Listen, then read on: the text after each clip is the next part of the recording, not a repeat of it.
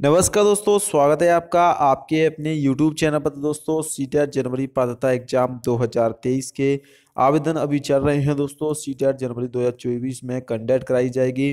जिसका नोटिफिकेशन दोस्तों तीन नवंबर को ही जारी कर दिया गया था। हालाँकि इसके ऑनलाइन फॉर्म की डेट पहले तेईस नवंबर थी, लेकिन बाद में दोस्तों इसको इंक्रीज कर दिया गया एक्सटेंड कर दिया गया और अब आप सत्ताईस नवंबर तक इसमें आवेदन कर सकते हैं। अभी तक तीस लाख से ज़्यादा विद्यार्थी सी के लिए रजिस्ट्रेशन या फिर ऑनलाइन फॉर्म भर चुके हैं दोस्तों। एग्ज़ाम डेट आपकी पोस्टपोन हो सकती है। जी हाँ दोस्तों सी की परीक्षा पोस्टपोन को लेकर अपडेट आ रही है। कब परीक्षा का आयोजन हो सकता है दोस्तों? पैटर्न बदलाव और तीन नए नियम लागू करने को लेकर इस वीडियो में बात करेंगे। कुछ नए नियमों को भी इस बार पहली बार शामिल किया जाएगा। देखिए, सबसे पहले बात कर लेते हैं दोस्तों सी टेट जो अगस्त 2023 में हुआ था, जिसमें कि 24 लाख विद्यार्थियों ने दोस्तों यहाँ पर एग्ज़ाम दिया था, लेकिन 19 लाख विद्यार्थी इसमें से दोस्तों फेल हो गए थे। यानी कि सी का जो पास होने का रेशियो है वो इस बार कम रहा था, क्योंकि परीक्षा पैटर्न में बदलाव किया गया था। पैटर्न में हर साल बदलाव होगा, जैसा कि अपडेट है दोस्तों।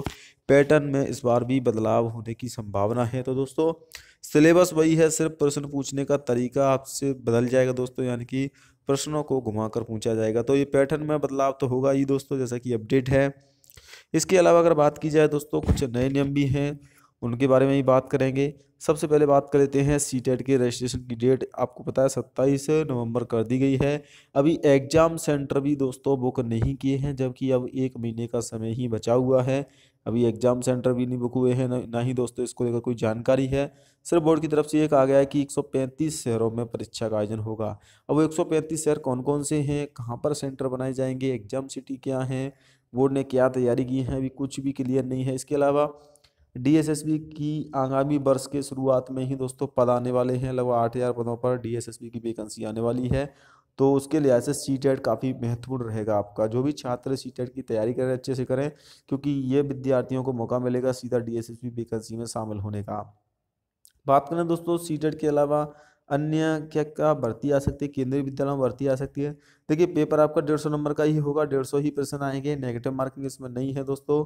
और इसका जो परीक्षा है, इक्कीस जनवरी को प्रस्तावित है। हालाँकि बदलाव हो सकता है। इक्कीस जनवरी को एग्ज़ाम आपकी बदल सकती है, क्योंकि फॉर्म डेट बढ़ाई गई है और काफ़ी राज्यों में चुनाव भी होने हैं। तो जैसा कि आप देख पा रहे होंगे सीटेट ऑनलाइन आवेदन 27 नवंबर तक होंगे। केंद्रीय माध्यमिक शिक्षा बोर्ड के द्वारा दोस्तों 27 नवंबर तक आवेदन लिए जाएँगे। 23 नवंबर पहले आवेदन की डेट थी। कैंडिडेट टेस्ट की वेबसाइट पर ऑनलाइन आप सी की ऑफिशियली वेबसाइट पर ऑनलाइन आवेदन कर सकते हैं। तो तीस लाख विद्यार्थी फॉर्म भर चुके हैं। परीक्षा में दोस्तों एक और बदलाव किया गया है, वो है आपका पारी का। पहले पेपर सेकंड दोस्तों मॉर्निंग की पारी में नहीं होता था इस बार मॉर्निंग की पारी में होगा, पहले पेपर फ़र्स्ट होता था। पेपर सेक, फ़र्स्ट दोस्तों आपका मॉर्न, इवनिंग की पारी में होगा, यानी कि आपका जो पेपर है, ढाई बजे से पाँच बजे तक कंडक्ट कराया जाएगा। तो ये बदलाव भी किया गया है दोस्तों। बाकी सब वही है सिलेबस भी वही है, परीक्षा पैटर्न चेंज होगा। एग्ज़ाम भी पोस्टपोन हो सकती है, फ़िलहाल में तैयारी करते रहें दोस्तों।